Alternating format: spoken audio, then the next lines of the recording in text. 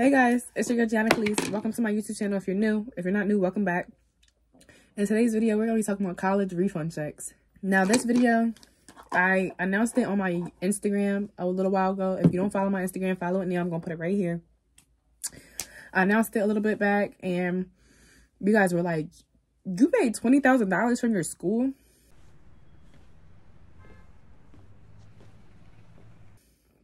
How? How can I do it too? And I was like, I'm gonna show y'all because I'm not a gatekeeper. Like everybody knows I don't gatekeep. So I'm just gonna hop right into it because this is the best time to really start. You really need to start now. like everything I'm about to tell you, do it today. Do it tomorrow. Do it all summer. Because once fall ro rolls around and then refund checks start dropping and people are making $5,000, $6,000 and you're not, you're gonna be mad. So keep watching, stay tuned, and um, I'm about to tell y'all how to do it. Quick story about me. My name is Gianna Kelis. I go to Del State University. I'm a graduating senior. I'm 19 years old. How I did it, I went to early college high school. That's a part of my college journey. That's why I was able to complete school completely debt-free. Woo! No loans. Woo! All that. Graduated two years early because I did dual enrollment, which I'll do a whole nother video on that if y'all want me to, but that one's more for like people with kids and people who are about to go to high school. I graduated in 2021, about to graduate again in 2023. I made about $20,000 from my school in refund checks. Now, what is a refund check? A refund check is sent to you by your school um, if you have a surplus of money in your student account. A surplus of money means that you had too much money. Like after they took out everything for fees and tuition and um, miscellaneous, whatever, you know how schools are, they have to send you back um, whatever they can't spend. The amount that you make, the amount that you are spent, if you're like me and your EFC is zero, is determined by your FAFSA, like what you put on the federal application or the free application of federal student aid. I think that's what it is. Okay. So after you complete that, you know, they tell you what your EFC is and they send it to your school. Now, the government will determine this information. It's also based on what your school is going to give you as well. So like in my case, I had the Pell Grant, which is federal aid, and it's like $6,000, 3,000 a semester. I had some thousand dollar grant from the government as well. And then I had a full tuition scholarship and I also had the Inspire Scholarship, which was which replaced the full tuition scholarship eventually because my school just decided to change it.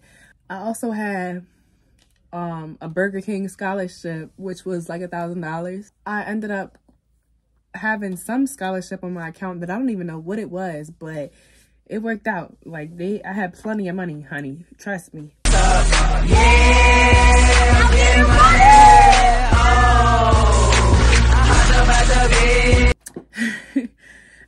honestly, I'm blessed because without it, I probably wouldn't have been able to afford my tuition, my fees and all that, and would have had to get loans. And I really didn't want loans because if you can avoid debt, why not? now, you're probably like, so how can I mm, do what you did? Well, my first step to you is fill out the FAFSA every year. Fill it out on the very first day, soon as it drops, like a sneaker release, you know. That's the best time to do it um, because aid does like run out. It does run low. My second tip to you is apply for scholarships. The only reason why I'm able to get $5,000, $6,000 back is because I had a surplus of money in my account. How do you get a surplus of money? It's not by depending on your school or by depending on FAFSA to cover everything. It's by going out and doing as many scholarships as you can and letting your school say, okay, you earn this money. Here you go. The money is expected to be used for things school related like uh, living expenses, transportation, whatever.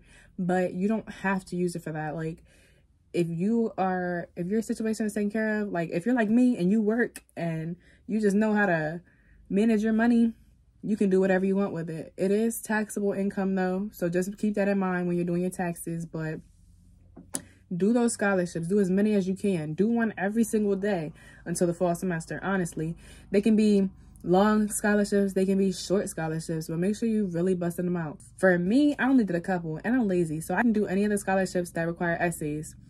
I still managed to get the Horatio Alger um, scholarship. I was like a state something. Only one other person maybe won that scholarship and it's a $10,000 scholarship split over four years. So it's like 2000 a semester. I ended up using all of that, I think, because I explained my situation and told them like I'm graduating in two years. I need all my money. the Burger King scholarship, I, I think I used that in one year, but that was okay. $20,000. I'm going to plug in the proof and all that. Like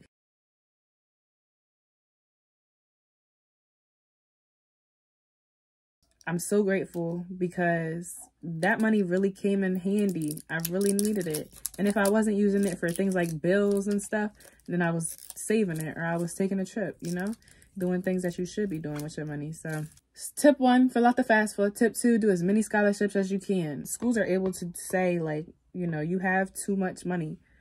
Um, and we're not sending you all this money. like they can say that. Now I know a lot of people are going to watch this and be like, I expected some scammer method, some hack, some trick, some I'm about to finesse the system. And really the entire finesse is just you being smart enough to apply yourself.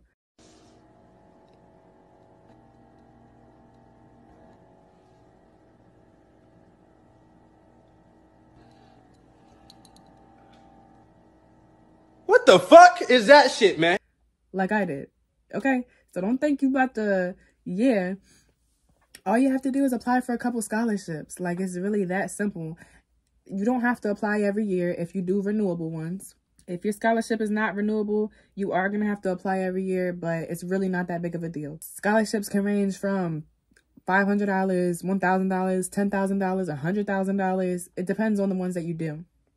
Now, of course, the bigger ones are going to probably require like essays and stuff, but who cares? Apply yourself that's the only way you're gonna be making five thousand a semester. Like, if you don't want to work, do a scholarship. Scholarships can be based on many different things. Like the Horatio Alger scholarship is based on adversity. What have you been through in life and how have you overcame it? How has it built you? And how do you plan to apply that to your future self? The Burger King scholarship was just based on extracurriculars and like how smart you are. But you know, there's plenty different types of scholarships. There's Hispanic type scholarships. There's black people scholarships. There's white people scholarships. There's, I don't know. Okay. Anyways, um, there's music scholarships. There's art scholarships.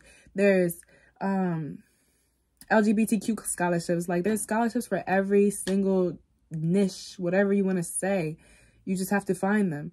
I looked on sites like FastWeb, scholarships.com, da da.